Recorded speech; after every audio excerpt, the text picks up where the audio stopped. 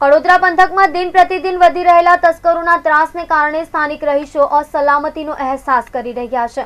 સલથાનની રામકબીર સોસાયટીમાં મધ્યરાત્રિએ ત્રાટકેલા તસ્કરોનો હિંમતભેર કોલેજિયન યુવતીએ સામનો કરતા તેઓએ ભાગવું પડ્યું હતું.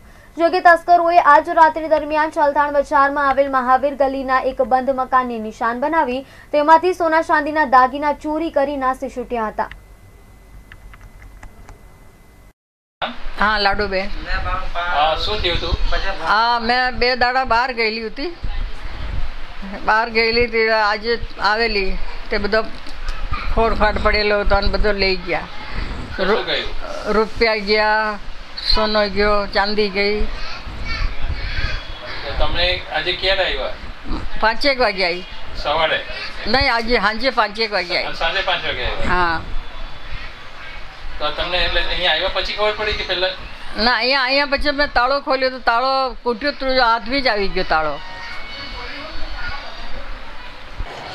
હું કૈલાસ સુભાષ દરવેશી ચલથાન ગ્રામ પંચાયત સભ્ય છું. રામકબીર સોસાયટી વોર્ડનો સભ્ય છું. અ, ગત રાતે શું ઘટના બની હતી? અરે રામકબીર સોસાયટીમાં સી ઓબ્લિક પંદર મકાનની અંદર લૂંટારુએ દરવાજા તોડી ઘૂસી આવ્યા હતા.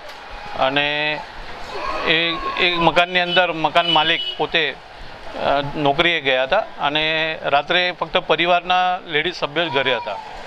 એ દરમિયાન દરવાજો પાછળના બારને દરવાજો તોડી ઘરમાં ઘૂસી આવ્યા હતા અને હાથમાં એ લોકોના હથિયારો, ચપ્પુ જેવા ઘાતક હથિયારો હતા અને હુમલો કર્યો હતો.